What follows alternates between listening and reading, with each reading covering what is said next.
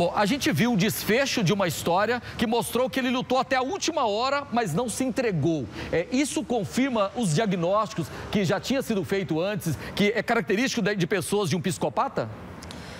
Na verdade, esse fato de ele ter lutado até o último momento faz a gente repensar em alguns aspectos sobre esse diagnóstico.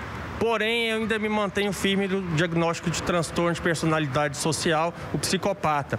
A questão é que ele provavelmente ele não acreditava que ele ia ser preso sem ser atingido ou que ele iria, ele acreditava que iria morrer com, com, com quando se entregasse. Provavelmente, se ele tivesse uh, pedido ajuda daquele advogado que disse que queria uh, ajudá-lo a se entregar, ele podia ser, ter se entregue sem uh, ter sido eh, alvejado e, consequentemente, depois disso morto. A Secretaria de Segurança Pública, doutor, disse que ele tinha, ele tinha uma rede de proteção, né? O fazendeiro que foi preso, é, o caseiro, e foi encontrado ali é, mais de 4 mil reais no bolso dele, o que certamente ele estava se preparando para uma fuga. Ah, então, ele não era tão esperto quanto a gente pensava, né? Ele estava contando com uma rede, né? Então, ah, isso muda alguma coisa no que a gente pensava do Lázaro? O transform... Muda aquela questão da, da, da, da mistificação do que as, que as pessoas estavam fazendo sobre a imagem dele. Estavam, as pessoas estavam criando uma imagem de um, de um super ser humano, que não existe. Eu já tinha falado isso em outra entrevista que dei aqui.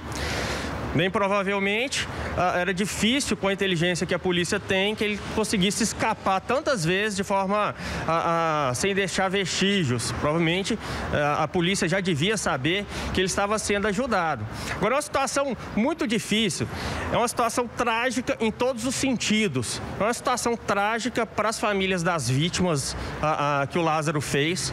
É uma situação trágica para a família do Lázaro, mas se não tivesse acontecido nada no início, esse desfecho também não teria chegado a esse fim. A gente precisa entender que o Lázaro, independente dele estar tá sendo, às vezes, patrocinado por alguém para cometer os crimes, ele tinha prazer, tinha requintes de maldade no que ele fazia. E ele se sentia bem com aquilo, não tinha empatia. Então, isso para mim caracteriza ainda um transtorno de personalidade social, que é o psicopata. A pessoa com medo, normalmente, ela se entregaria às forças policiais. A falta de medo é um traço do psicopata? O psicopata tem medo. Ele tem medo sim. É, ele provavelmente ele entrou em, em, luta com a polícia porque provavelmente ele estava com medo de ser atingido. O que ele não tem é empatia pelo próximo. Ele não coloca, se, sabe se colocar no lugar do próximo. Ele não sente pena, mas ele tem medo. Ele tem medo. Provavelmente ele alvejou a polícia porque estava com medo de ser morto. Agora, doutor, o que, que a gente pode tirar de lição de uma história dessa, né? Nós, como seres é, é, que se dizem normais, o que, que a gente pode tirar de lição de uma história dessa? Eu acho que uma das primeiras coisas é o seguinte: a gente analisar todos esses fatos que aconteceram em relação a esse episódio de uma forma sem viés ideológico. É uma situação triste para todas as pessoas. É uma situação triste para todas as pessoas que nesse momento estão sofrendo com isso.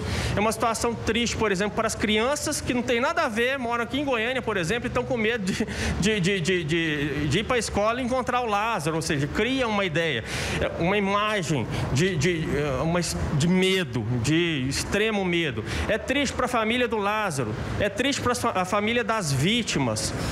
Então a gente, eu acho que seria importante a gente tirar o estresse que essa situação vai gerar das opiniões divergentes e analisar de forma mais fria, porque vai ter gente agora que vai querer defender que o Lázaro não, tinha, não deveria ter sido morto.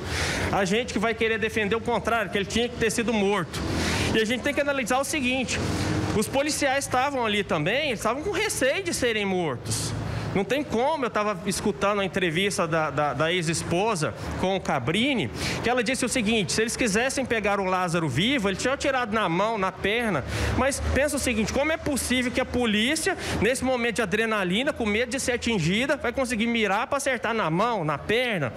Então é uma situação difícil para todos os lados. A polícia está de parabéns? Está de parabéns.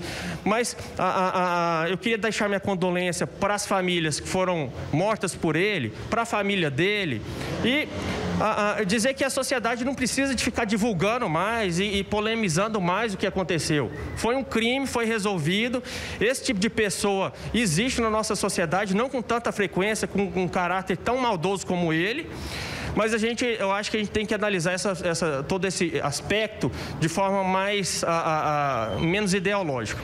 É, e lembrando, né, doutor, que é, eu, eu, como cidadão, eu imagino que seria é, um troféu maior para os policiais é, capturá-lo com vida, né? É, exibir o Lázaro vivo seria um troféu maior para os policiais. Então, talvez atirar é, é, foi a saída que os policiais encontraram diante daquela situação. Então, é muito fácil a gente estar tá aqui apontando, como o senhor falou. Agora, a, diante de uma situação dessa, a gente começa a ficar com medo, a gente começa, mesmo sabendo que o Lázaro está morto, a gente começa a ficar com medo. Como é que a gente pode lidar, principalmente com crianças, pessoas que estavam apavoradas, mesmo a gente está a centenas de quilômetros lá do, do palco dessa história toda, doutor? Primeiro é parar de ficar divulgando essas fotos, que eu já, até no meu celular, eu já recebi foto desse do, do do Lázaro alvejado. Eu acho que a primeira coisa é a gente parar de ficar divulgando, parar de ficar falando sobre esse assunto depois. Não na televisão, porque vocês têm que divulgar o que está acontecendo, mas a, a, dentro da nossa própria família. Se estiver falando sobre isso, tira a criança na televisão, tira a criança, criança daquele recinto, para de ficar conversando perto de criança sobre isso. E não é uma coisa que vai acontecer toda hora, todo dia. Tanto é que um caso desse fosse um, uma coisa tão corriqueira, a, a imprensa não estava dando toda esse, essa, essa, essa cobertura então, não é uma coisa que vai existir, as pessoas não são, no geral, não são tão más assim. As pessoas são muito melhores do que a gente imagina. Existem algumas exceções, como no Lázaro, mas o que eu vejo é que as pessoas são muito melhores do que a gente acha. A questão é que sempre se divulga, divulgam os fatos que as pessoas mais maldosas, as coisas erradas que as pessoas fazem. A gente não divulga muito as coisas boas, a bondade das pessoas. Então, a primeira coisa é parar de ficar falando isso sobre, com criança, falar assim, ó, já resolveu, já aprendeu, não precisa nem falar que foi morto e pronto. Parar de tocar nesse assunto com as crianças. Doutor, fazendo uma retrospectiva dessa história toda, a gente está acompanhando, é, nós começamos a, a, a, perceber o seguinte, é, quando ele começou a saga criminosa lá em Barra do do Mendes da Bahia, teria, né, seria uma, uma, suposta rejeição de uma mulher. Depois, todos os crimes que ele teria praticado, vários estupros em Brasília, é, no entorno do Distrito Federal, ele tinha um certo, um certo ódio contra as vítimas mulheres. É, isso tem explicação é, do ponto de vista psiquiátrico? Ele pode ter, sim, esse ódio contra as vítimas mulheres. Isso pode, às vezes, ser explicado, sei lá, pelo passado dele. E aí eu precisaria de conhecer, conhecê-lo melhor, porque todas as coisas que eu estou falando nesse momento Estou procurando ser bastante técnico, mas baseado só nas informações que eu obtive pela mídia, como qualquer outro telespectador que está que tá escutando, assistindo os telejornais e lendo notícias.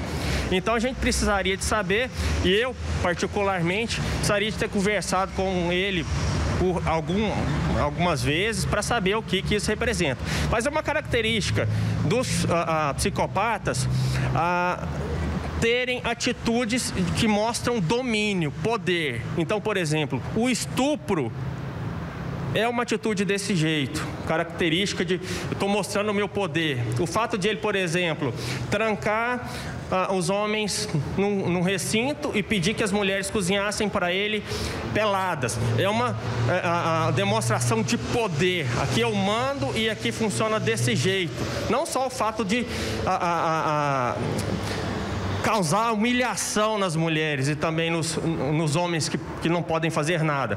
Outra característica do psicopata que mostra poder é que muitos psicopatas eles também têm a, a características incendiárias. Por exemplo, o Lázaro ele se incendiou uma das, das casas, um das, dos locais que ele, que, ele, que ele visitou, que ele invadiu. Isso mostra poder, que é uma das características também desse, desse tipo de personalidade. Doutor, eu queria agradecer o senhor, doutor Adelman Azevedo Filho, que é médico psiquiatra. Muito obrigado aqui por nos ajudar a, a, a, entender essa história e, acima de tudo, né, a gente aprender a lidar com esses problemas, né, a lidar com esses desafios que é a mente humana. Eu queria agradecer o senhor. Muito obrigado, doutor, pela participação aqui. Obrigado, Loares. Eu queria deixar só um, um, um, um outro comentário. O seguinte, eu vi as cenas dos policiais comemorando Ah, ah, e eu tenho certeza que eles não estavam comemorando a morte do Lázaro, eu tenho certeza que eles não estavam tripudiando sobre isso. Eles estavam comemorando porque eles estavam sofrendo também ali nesses vários dias, no meio do mato, sentindo falta da família, também amedrontados. Então, eu, ah, ah até para fazer com que as pessoas que vão fazer comentários negativos em relação a alguma, alguma das imagens que vão aparecer, que apareceram sobre a polícia, mostrar que eles estavam sofrendo também. Então, esse momento não é que eles gostaram de ter alvejado o Lázaro, é que agora eles estão se sentindo seguros, que eles podem voltar para casa, que eles cumpriram uma missão. E eu tenho certeza absoluta que o objetivo da polícia, principalmente pela divulgação excessiva da mídia, era trazer o Lázaro vivo, porque eles sabem que agora vai surgir muita polêmica. Se eles conseguissem capturar o Lázaro vivo, eles seriam cumprida a missão e não dariam, dariam a, a, asas para críticas a, e às vezes críticas maldosas. Provavelmente não conseguiram pegá-lo vivo porque não foi possível, porque provavelmente eles foram atacados pelo Lázaro.